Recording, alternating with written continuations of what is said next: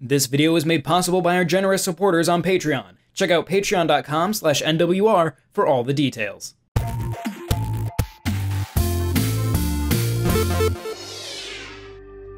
Hey everybody, John Rairdin here for Nintendo World Report TV. You may have seen our preview of Darksiders Genesis a few weeks ago based on our impressions of the PC version. But now we have the full Switch release in our hands, and I am eager to talk about it. If you saw the preview, you should already know that I really enjoyed Darksiders Genesis on PC, and suspected that the Switch would be a fantastic platform for it. Now, I'll have a full review for you very soon on NintendoWorldReport.com, but in the meantime, I wanted to take a moment to see how the Switch port holds up on a technical level, as well as taking a look at how it compares to the PC version at max settings. Darksiders Genesis runs on Unreal Engine 4, which has had wildly mixed results on Switch. You of course have some excellent titles like Dragon Ball Fighter Z, Hellblade, and Dragon Quest XI, which stand up gloriously to other platforms, and then there are titles like Bloodstained or Hello Neighbor, which look and run much more poorly than their brethren. So I was curious to see where Darksiders Genesis would stand. I'm pleased to say that overall, I'm pretty happy with Darksiders Genesis on a technical level on Switch.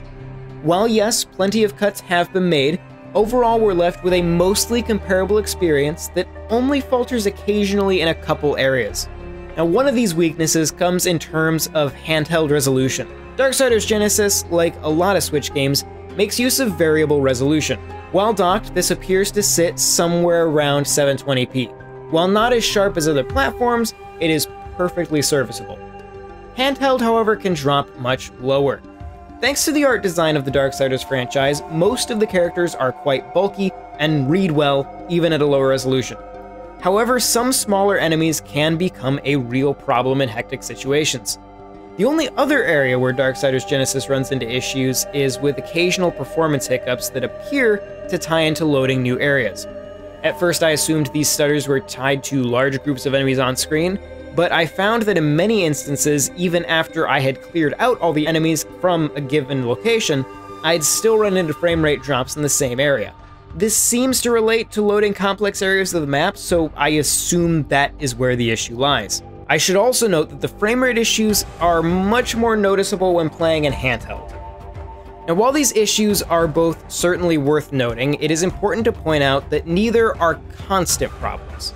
Resolution only becomes annoying in a perfect storm of demanding environments mixed with very small enemies and a distant camera. And while frame rate drops are more common when handheld, they still tend to focus on small patches of specific levels. So while performance isn't perfect, it's reasonable, and in docked mode, it's actually pretty good. But how does it compare with the absolute best Darksiders Genesis can offer up? The PC version, maxed out.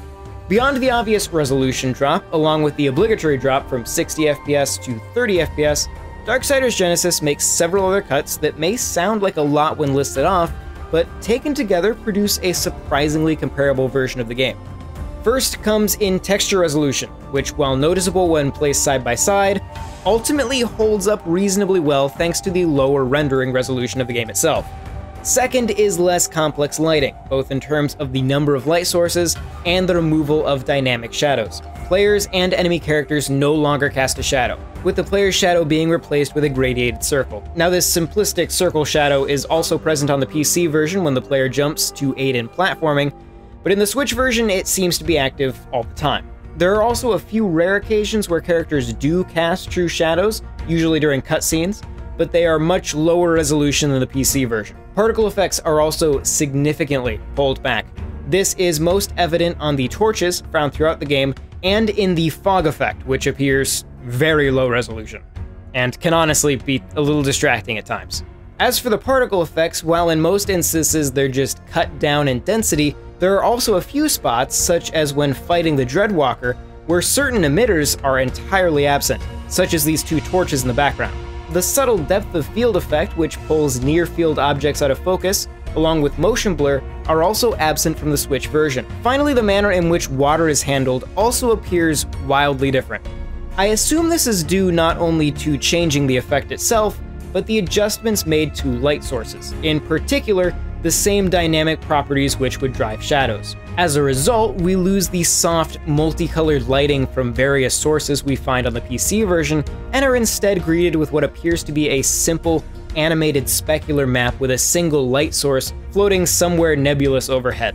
The effect isn't bad, but it doesn't sit nearly as well in the environment, and when viewed from some angles, that specular hit actually moves out of your field of view, resulting in kinda just a flat shaded appearance. It just looks like a solid blob. Now that sounds like a lot, doesn't it? I mean, it is. Plenty of changes have been made, but in most instances, the visual identity of Darksiders Genesis shines through, with perhaps the exception of the water and that very aggressive lowering of the fog resolution. I think it helps that the world and character art for this franchise have always been so strong and stylized that it can lose some of its detail and still hold up.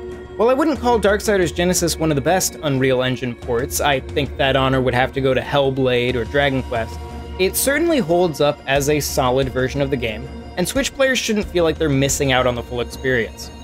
Given that Darksiders Genesis also shares an engine and almost certainly quite a few assets with Darksiders 3, this may give us a glimpse at what may be possible for an eventual Switch port of Darksiders 3, which remains the only Darksiders title currently unavailable on the platform. But that's all I've got for you today.